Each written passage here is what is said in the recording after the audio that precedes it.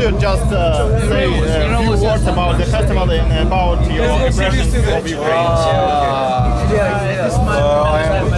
Easter. I'm uh, for fourth time here. I'm really happy that this festival is still going on, and Ukrainian medalists, due to those uh, political bullshits between Ukraine and Russia, still making this festival. We are proud to be happy, and we are supporting our friends. We will show tomorrow uh, one of the brutal show ever.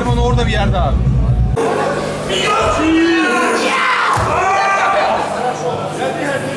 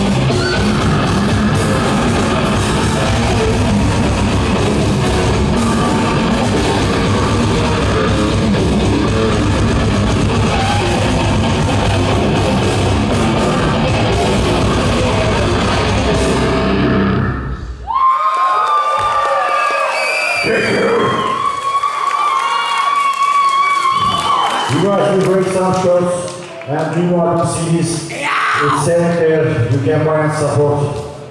Спасибо, thank you.